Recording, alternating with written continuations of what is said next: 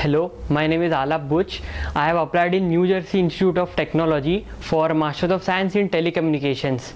I came in Edwise uh, in my bachelor year, so I was very confused whether to go abroad for diploma or masters. So they guided me very well.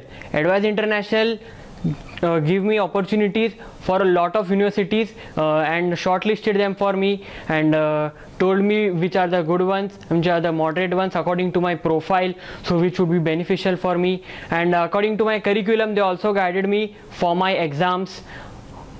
And uh, I would recommend each and everyone who is planning to go abroad that uh, this is a nice option. It will get you through the difficult times. Thank you